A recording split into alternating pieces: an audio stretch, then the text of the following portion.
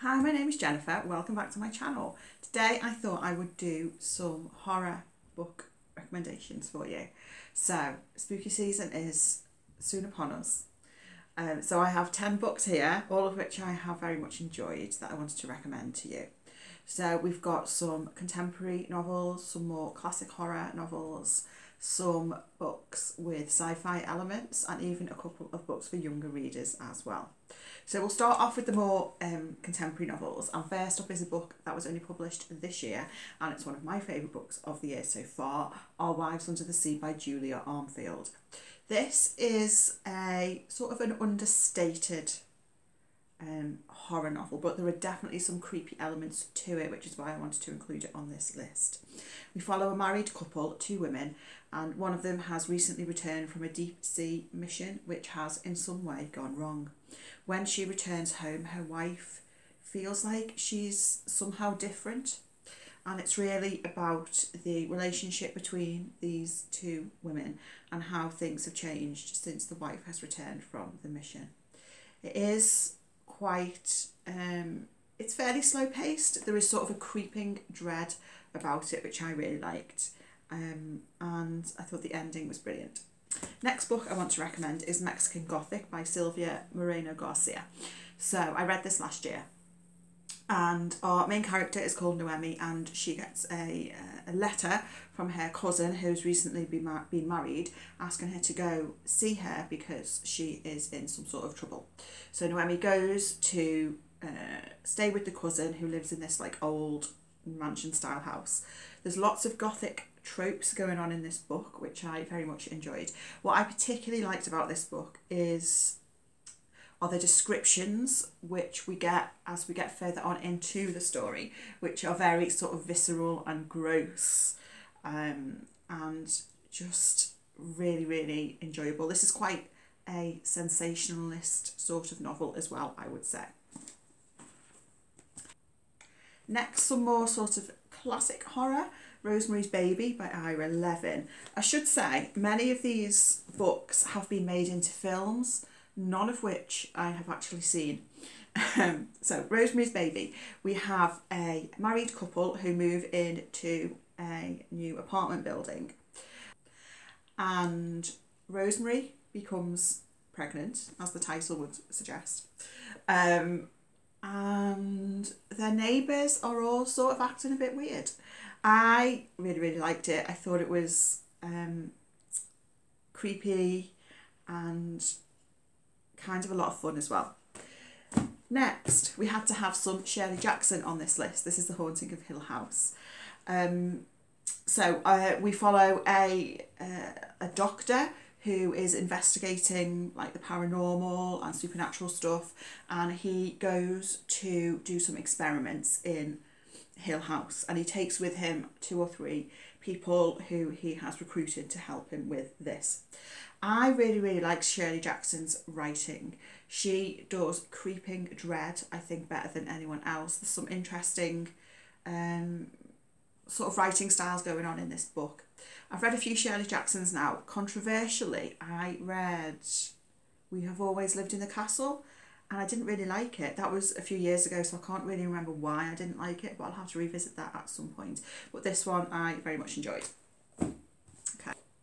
Next up, The Midwich Cuckoos by John Wyndham. This is my favourite John Wyndham that I've read so far. So this is set in the village of Midwich, and one day this mysterious silver object appears in the sky, um, and the next day all the women find out that they are pregnant.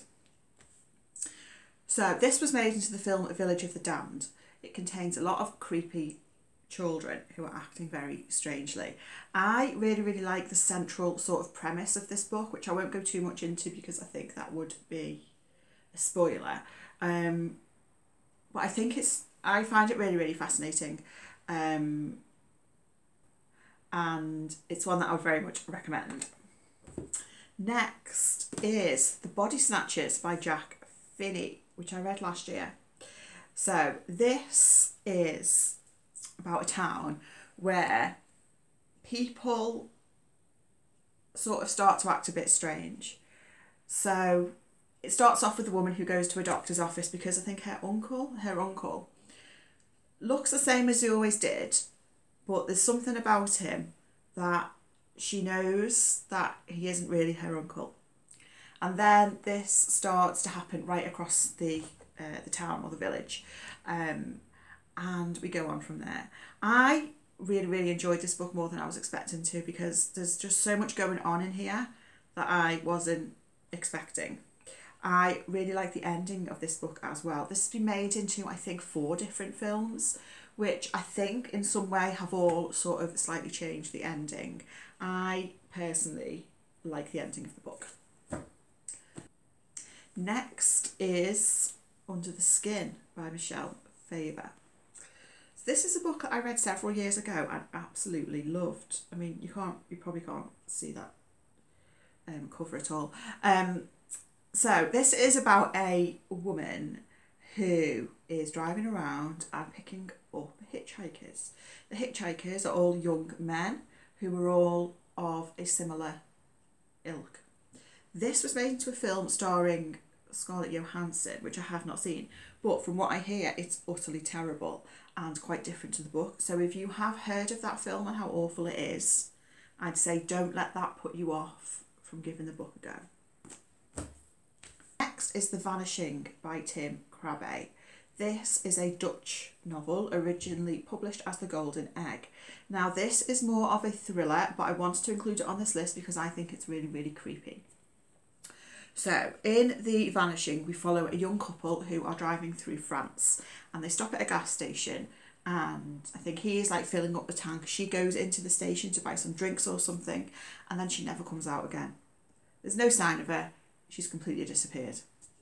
And then we jump forward a few years and we follow the guy who understandably has never got over this. Um, no one has been able to work out what happened to his girlfriend. The police had no leads. She just disappeared. He never knew what happened to her. Um, and so he we follow him, you know, still trying to find out what on earth could have happened to her, you know, who's taken her away from him. Um, out of all the books on this list, this is I think, the most realist of all of them. Many of these books have some sort of supernatural elements, but this one doesn't, um, which I think sort of makes it all the more horrifying.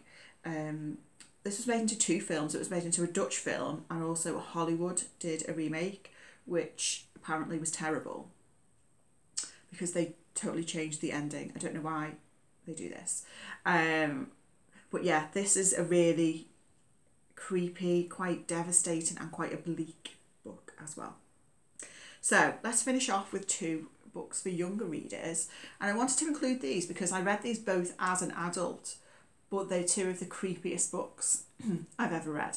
So the first is one that you will have heard of before, the second I think is slightly less well known.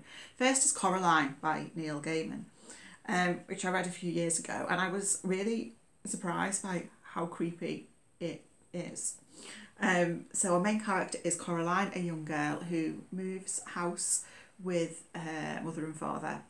And in this new house, she finds like a secret doorway, um, which she eventually goes through, and it takes her to this other world. And there, there is an other mother and an other father who I think look like her mother and father but have buttons for eyes. I just found this book really freaky, um, and I had obviously I knew I kind of knew of it because of popular culture, because of the, film and so on, which I haven't seen. Um, but I was surprised by how creepy it is. And then finally, I wanted to finish with Thornhill by Pam Smy. Out of all of the books on this list, I think this is probably my favourite and the one that stayed with me the most. So it's told in two parallel narratives. The present day narrative is told in picture form and we follow a young girl who, who has just moved to a new house, which seems to be a theme in many of these books. Um, so she's moved to a new house with her father, and the house is located ne- right next door to an old, disused orphanage. Um, and this girl spends quite a lot of time by herself in the house because her dad is away at work. Um, and she can look through her bedroom window straight onto the orphanage, and weird stuff starts happening. The second narrative that we have going on at the same time is told in diary format by a young girl who used to live in the orphanage many, many years ago. And through the diary, we find out uh, what her life was like living in the orphanage. This is such a creepy book, but it's so brilliant. I love the ending of this book in particular. It's just brilliant. Um, and it's really stayed with me um, and I would highly recommend it. So those are my sort of quick horror recommendations for you. Let me know if you have read any of them, if you've got any thoughts, and also do let me know if you've got any recommendations for me. I have got quite a stack of books that I'm planning on reading for spooky season this year, but I'm always on the lookout for more recommendations. And if you recommend me something that I can get from the library, I will read it. So thank you for watching. I hope you're well, and I'll speak to you again very soon. Bye.